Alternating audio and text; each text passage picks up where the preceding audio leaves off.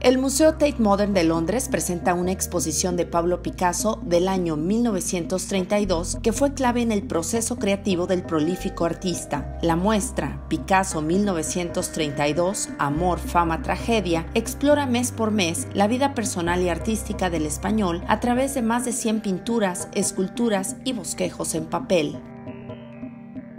El curador de la exposición, Achim Borchardt Home, aseguró que en 1932 sus pinturas alcanzaron un nuevo nivel de sensualidad y consolidó su estatus como uno de los más influyentes artistas del siglo XX. Picasso, de 50 años de edad, mantenía una relación amorosa con Marie-Thérèse Walter, de 22 años de edad, musa y objeto de sus figuras femeninas.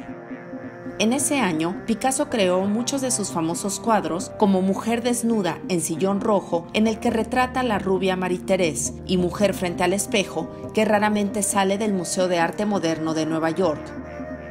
En marzo de 1932, Picasso pintó seis óleos de mujeres que por primera vez están juntos en 86 años. Entre los famosos cuadros se encuentran Desnudo, Hojas Verdes y Busto, Desnuda en un sillón negro y El espejo, que son consideradas la cúspide de la obra de Picasso de los años 30.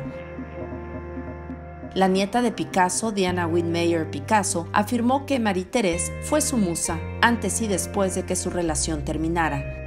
La exposición dedica una de las salas a la retrospectiva que una galería parisina dedicó a Picasso en 1932. Durante ese prolífico año, Picasso también organizó un catálogo de su obra en la que enlistó más de 16.000 pinturas y dibujos. Desde Londres, Inglaterra, Marcela Gutiérrez, corresponsal, Notimex.